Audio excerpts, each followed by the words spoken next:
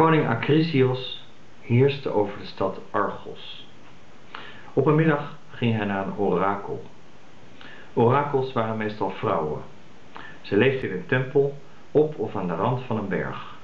En die tempel stond precies boven de plek waar een geheimzinnige damp omhoog zijpelde door een gat of een sleuf. Mensen die iets hadden uit te zoeken kwamen hier naartoe. En zo'n vrouw, de hoge priesteres, hoorde dan de vraag aan van een bezoeker. Meestal iets over kinderen, of over de trouw van een echtgenoot, of over de olijvenoogst, dat soort dingen. En na die vraag boog de vrouw zich over de dampwolk, en als ze daarvan maar genoeg inademde, werd ze licht in haar hoofd. En dan hoorde ze opeens het antwoord. En dat kwam dan van Apollo, een van de goden. En nu verscheen dus koning Acrisios bij het orakel van de plaats Delphi. En ook hij vroeg iets over kinderen of kleinkinderen en hoe het daarmee in de toekomst zou gaan. De hoge priesteres snoof flink wat op van de bedwelmende walm en zei daarna: Eh, ja, vroeg Acrisios. Tja, mompelde de vrouw, ik heb het gehoord, maar als ik jou was zou ik het maar lekker laten zitten. Vertel nou, riep Acrisios, want hij begon echt zijn geduld te verliezen. Nou, zei de hoge priesteres, als je het echt moet weten, het zit zo.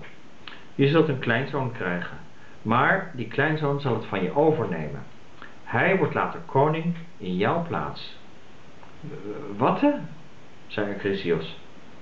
En hij maakt je dood, zei de hoge priesteres.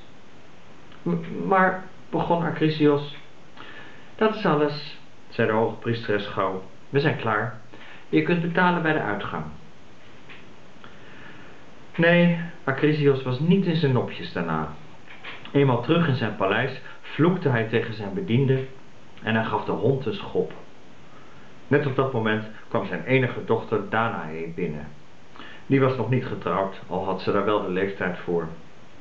Waardeloze meid, riep Acrisios toen hij haar zag. Het is allemaal jouw schuld. Papaatje? zei Dana ingeschrokken. Wat is er met je? Niks papaatje, riep Acrisios. Ik stop je weg, vandaag nog, in de hoogste toren die ik heb. En daar mag je blijven tot je geen kinderen meer kunt krijgen. Ja, het was een brok venijn, Acrisios. Maar hij was koning en dus gebeurde het zoals hij het wilde. Danae werd in een bronzen kerker opgesloten, ergens vele meters boven de aarde. Er was één raampje in het dak en daar zaten tralies voor.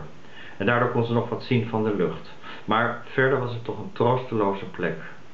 Achter de deur stonden wachters en één keer per dag kreeg Danae haar eten. Voor de rest van de tijd zat ze daar te treuren, zag afvragend waaraan ze dit nou had verdiend.